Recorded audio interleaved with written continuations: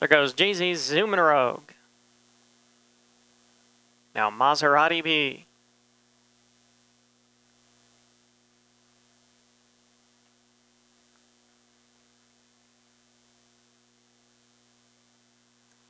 Here comes Viva Sin.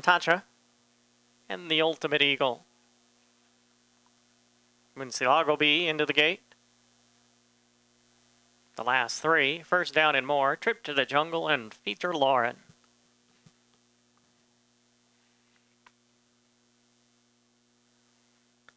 First down and more takes her spot.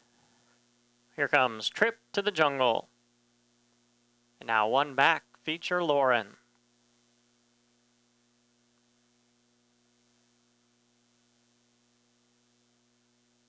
All set for trial number seven for the All American Futurity on day two.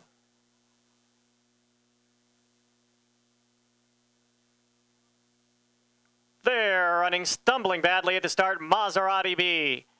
Fast break from the far side for Feature Lauren with first down and more. Back to the inside. Viva Sin Tacha coming on.